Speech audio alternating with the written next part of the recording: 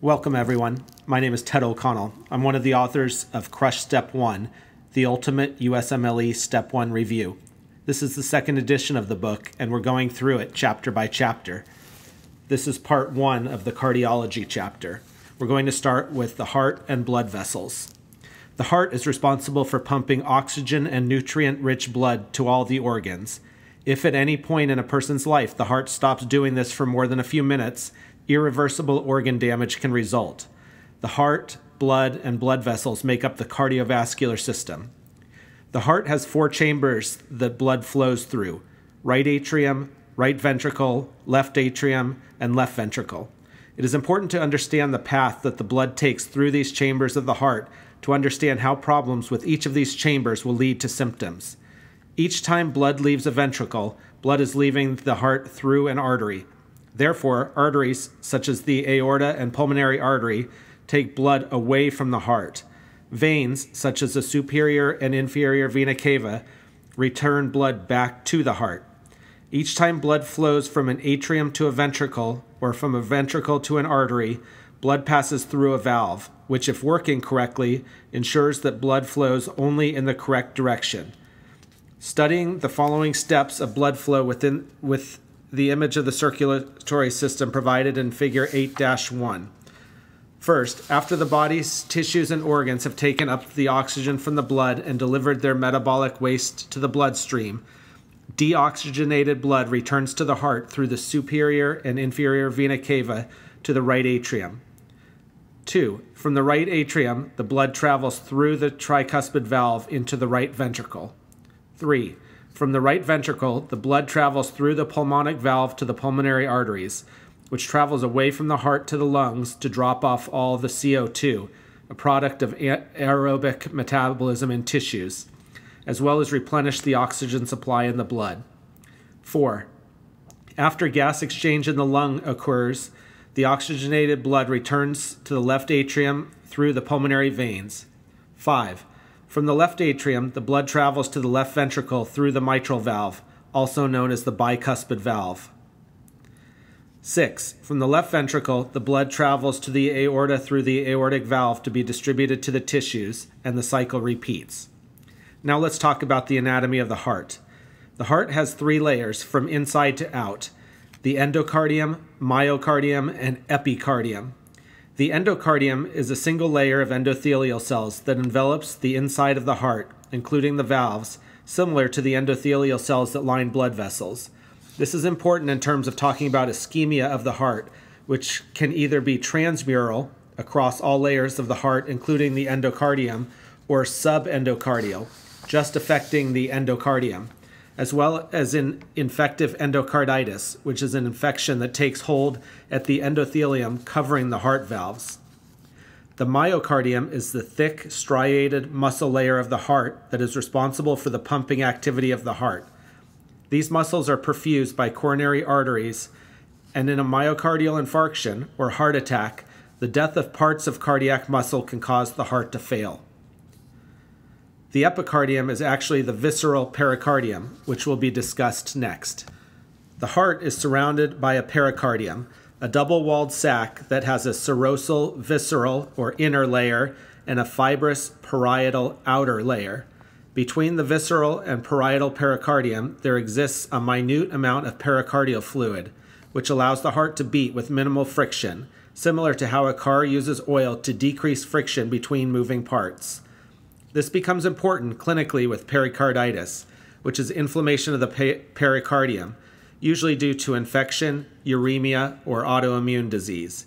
It is also important in pericardial effusion and tamponade when too much fluid builds up between the two layers and can even act to strangle the heart if enough fluid and pressure builds up such that the heart's ability to fill with blood is impeded. This is tamponade. The heart relies on an electrical conduction system to ensure rapid, coordinated contraction of the heart. The sinoatrial node, the pacemaker of the heart, which sets the normal heart rate by generating electrical signals. These electrical signals depolarize the atria and are conducted to the AV node. The atrioventricular or AV node, named because it lies between the atria and ventricles. In the normal heart, this area is the only place where the electrical signal can be transmitted to the ventricles through the bundle of His, which further branches into the left and right bundle branches.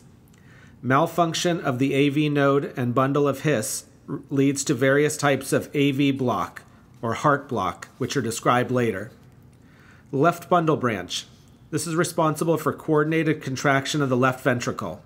If these fibers are damaged and lose conducting ability, a left bundle branch block results.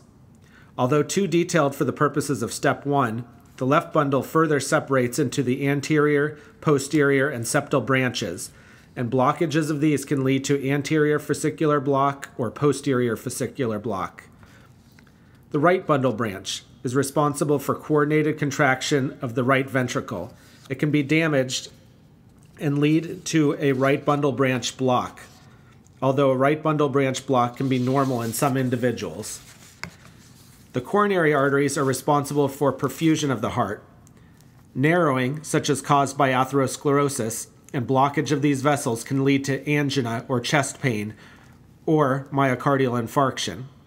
The left and right coronary arteries come off the aorta at the aortic valve cusps.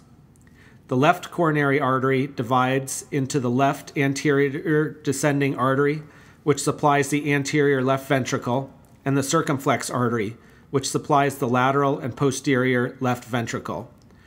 The left anterior descending artery is the most commonly occluded vessel in patients with myocardial infarction. The right coronary artery supplies the right ventricle. In 85% of people, the posterior descending artery comes off the right coronary artery, which perfuses the inferior and posterior ventricles. This is called right dominant circulation. In the remainder of individuals, the posterior descending artery comes off the circumflex, or both the circumflex and right coronary artery. When it comes off the circumflex, this is called left dominant, and when it comes off both the circumflex and right coronary artery, this is called codominant. The right coronary artery also supplies the sinoatrial node and AV node, which can lead to arrhythmias and heart block if damaged. Now let's discuss the anatomy of the circulatory system. The circulatory system can be divided into two components the pulmonary circulation and the systemic circulation. The pulmonary circulation is made up of the right heart, pulmonary arteries, capillaries feeding the lungs, and pulmonary veins. It is responsible for taking deoxygenated blood from the right heart to the lungs for oxygenation and then moving the newly oxygenated blood to the left heart so that it may be pumped into the systemic circulation. The systemic circulation is made up of the left heart, systemic arteries, capillaries, and veins. The systemic circulation is everything outside of the pulmonary circulation. The goal of this circulation is to take oxygenated blood to the body to deliver oxygen and nutrients and return that newly deoxygenated blood to the right heart. The circulatory system uses arteries, arterioles, capillaries, venules, and veins each serves a different purpose. The arteries are thick walled because they receive blood from ventricles and therefore must, with, must withstand large changes in pressure. Examples include the pulmonary artery and aorta. The arteries have three layers, starting at the inside layer called the intima, which has a single layer of endothelial cells. The media, a thick, elastic, and muscular layer, and the adventitia, the outer layer which houses the vasa vasorum, or vessel of vessels, blood vessels that nourish the artery itself, as well as nerves and lymphatics. Arterioles are the site of highest resistance to blood flow and are regulated by alpha 1 receptors for constriction and beta 2 receptors for dilation of their smooth muscle, helping the body regulate distribution of various of blood to various organs. Capillaries have a single layer of endothelial cells, allowing for diffusion and exchange of gases, fluid, and nutrients between the blood and tissues.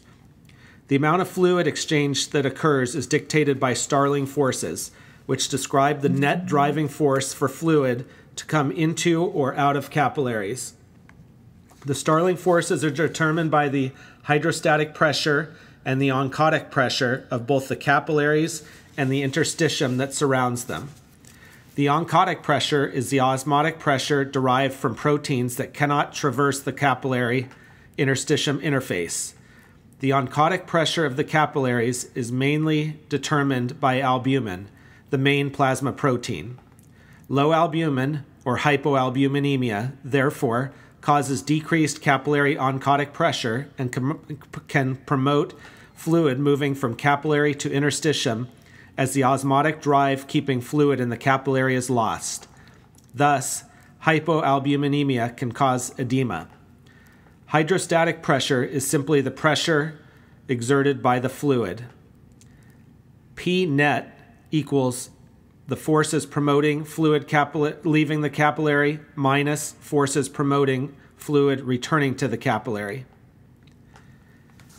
There is an equation, P net, which equals the hydrostatic pressure in the capillaries plus the interstitial oncotic pressure minus the sum of the hydrostatic pressure in, in the interstitium plus the capillary oncotic pressure. Next, the venules and veins are also thin walled because they are meant to be capacitance vessels, meaning that they can hold a large amount of blood.